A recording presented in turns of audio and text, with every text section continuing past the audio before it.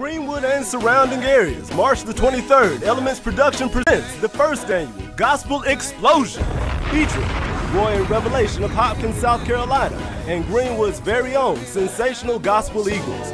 Also appearing are Anointed Voices of Batesburg, the Quiet Mind Ministry of Laurens, and the Dixon Sisters of Anderson. It's going down March 23rd at 5 p.m. at the United Center Gymnasium located 923 Phoenix Street here in Greenwood. 100 early bird tickets are now available for only $12 a piece, $15 at the door, and children ages 7 to 12 admitted for $7. Tickets are available at B&T Tapes. For more information, please call Stan Gilchrist at 864-314-8060 or Carl Wright at 803-645-4560. That's the first annual Gospel Explosion on March 23rd. Be there.